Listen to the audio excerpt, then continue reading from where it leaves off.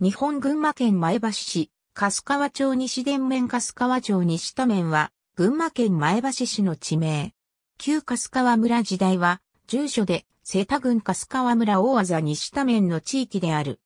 また、前橋市合併後は、村名の粕川村が、粕川町となり、その後大技名がつくため、前橋市粕川町となる。面積は0.242平方キロメートル。郵便番号は371-0217。前橋市の東部、赤城山の南麓、粕川中流左岸に位置している。江戸時代頃からある地名である。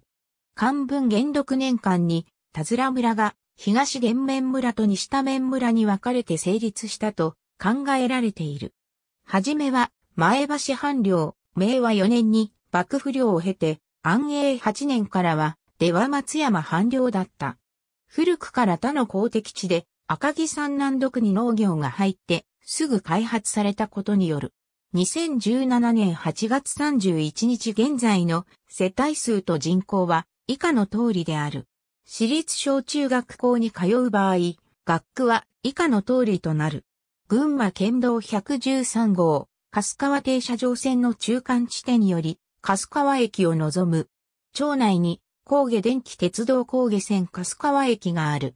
赤城タクシーが運行を行っている、デマンドバス方式のふるさとバスがある。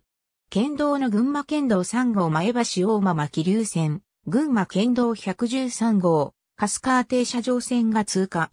前橋市役所粕川市所当庁が避難対象区域となった場合、町内にある前橋市立粕川中学校に避難する。